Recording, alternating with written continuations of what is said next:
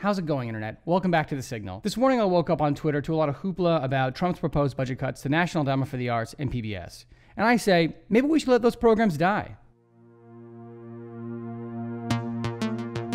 Now, maybe the NEA and PBS served a really vital role back when they were created about 50 years ago. The NEA is a federal agency created by Congress in 1965 that offers support and funding to arts projects and organizations around the country. In 2016, it had a total budget of $148 million. That number is important $148 million.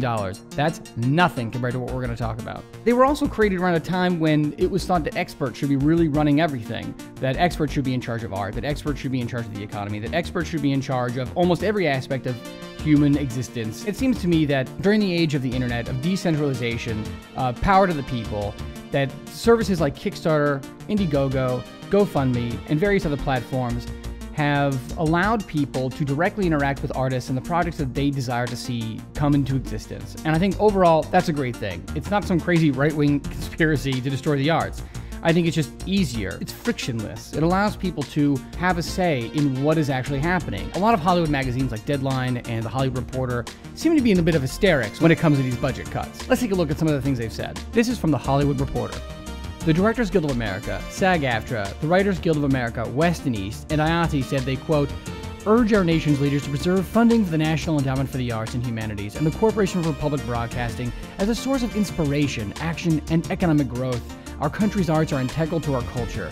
Access to the arts has fueled generations of great Americans, uplifted communities, and helped heal our nation's great divides. Cutting federal support for these programs will not only hurt artists and those who benefit from their work, it will also send a damaging message to future generations about the power of art and its place in our culture. I don't think that's ever been absent from our society.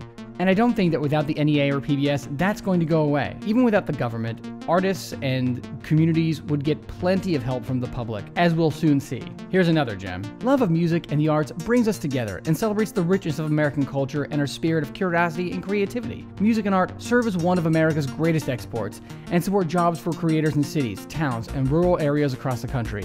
The White House proposal to eliminate funding for the NEA is short sighted and alarming. Where do we not have this in America? It seems as though America is overflowing with art, literature, music, and film without help from the state. This level of hyperbole is incredible. This is from Deadline. The cost of public broadcasting is small, only $1.35 per citizen per year, and the benefits are tangible. Increasing schools' readiness for kids 2 through 8, support for teachers and homeschoolers, lifelong learning, public safety, communications, and civil discourse. We live in a capitalist economy but there is general agreement that the marketplace shouldn't be the sole determinant of what art is produced and accessed. Now, that might all be true, but I'd be willing to wager dollars to donuts that places like YouTube, with the hundreds of hours per minute that is uploaded to it, vastly outperforms public broadcasting and free and quality content. In fact, at this very moment, the public is outspending the National Endowment for the Arts using services like Kickstarter to fund the project that they want to see. Let's look at some comparisons of National Endowment for the Arts versus sites like Kickstarter and how much money they provide the public. According to Harvard Business School, in 2015 from 2009, Kickstarter has raised $1.5 billion. That comes out to a paltry $250 million per year for 80,000 art projects. That was in 2015. So even by today's standards, it's beating the snot out of the NEA. Now, I think it's pretty clear that the amount of money provided by Kickstarter and various other crowdfunding platforms versus the NEA is dramatic. Kickstarter dwarfs them all. So do we even really need an NEA or PBS and a panel of experts declaring or deciding what is good art and what isn't? I feel like that's really our job. Now, I'm not going to get into other cuts like Meals on Wheels and the other controversies that Trump's proposed budget cuts are proposing, but I do feel it's safe to say that when it comes to the arts, these are two programs that can definitely go. and to those ends, I want to do my tiny little part to help destroy the NEA by offering uh, filmmakers a chance to win my favorite lens in the world, the Helios 44-2, and 50 bucks in an Amazon gift card just for playing a raffle I've put together. Uh, links down below. You have seven more days to enter.